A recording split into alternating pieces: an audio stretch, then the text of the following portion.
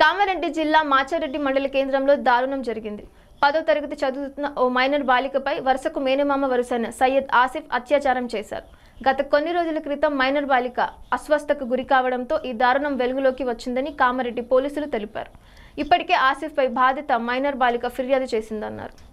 బంధువు వరుసకు మామ ఆసిఫ్ అనే వ్యక్తి కామారెడ్డి చెందిన వ్యక్తి వాళ్ళ కుటుంబం మంచి చెడు చూసుకునేదట వచ్చిపోయేవాడట. అయితే ఒక ఆరు ఆరు నెలల కిందట ఆ అమ్మాయి వాళ్ళ ఫాదర్ మదర్ చనిపోవడం వల్ల ఆ, అప్పటి నుంచి కూడా వచ్చిపోయి వీళ్ళ బాగోలు చూసుకునే విషయంలో మంచి చెడు చూసుకునేదంట.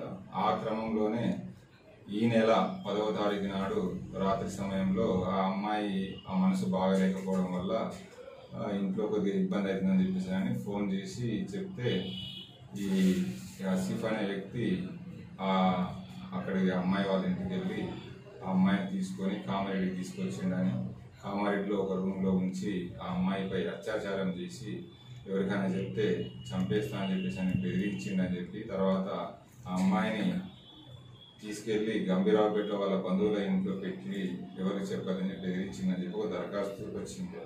ఆ దరఖాస్తు మీద మనం కేసు రిజిస్టర్ చేసాము ఆ అమ్మాయి మైనర్ కావడం వల్ల ఆ అమ్మాయిని రాత్రి సమయంలో పోలీస్ స్టేషన్లో ఉంచకుండా ఒక సైకిల్ సెంటర్లో పెట్టినాము. ఆ అమ్మాయిని ఉమెన్ పోలీస్ ఆఫీసర్ సమక్షంలో స్టేట్మెంట్ రికార్డ్ చేసి బాధితు ఈ బాధితురాలు కాబట్టి బాధితులైన వ్యక్తులపై చట్టపరంగా చర్యలు తీసుకోవడం జరుగుతుంది.